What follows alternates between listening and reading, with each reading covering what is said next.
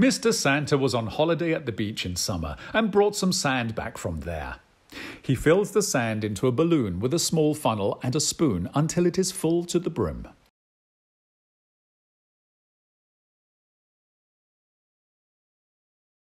He pokes the sand with a wooden skewer so that it slides through the funnel and fills the balloon well.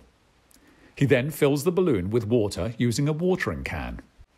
Again, he pokes with the wooden skewer so that the water is evenly distributed throughout the balloon. Now he inserts a glass straw into the balloon spout and sticks the spout to it.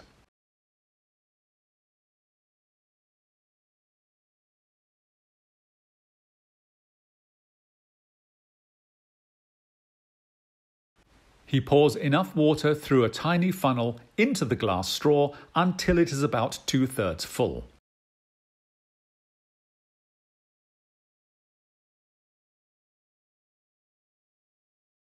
What happens to the water level in the straw when he slowly squeezes the balloon? A. The water level rises. B.